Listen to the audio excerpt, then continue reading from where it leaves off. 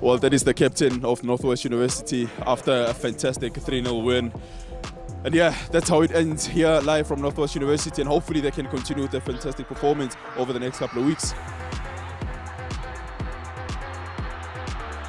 Like moments that looked promising and moments that gave nothing but a goal for Northwest University. It was that man, Liseri Bakai, after so many fouls, found himself scoring the most important opening goal.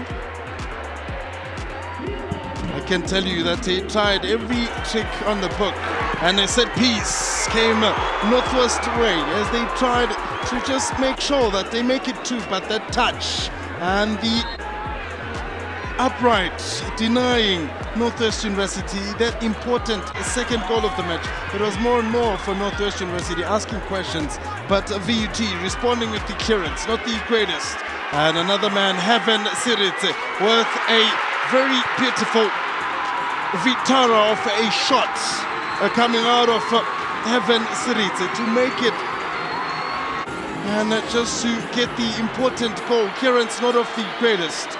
And that first touch to set Heaven Sirete.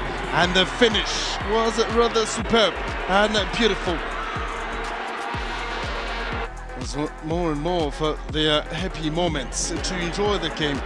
And they continued to put pressure and pour salt on the wound.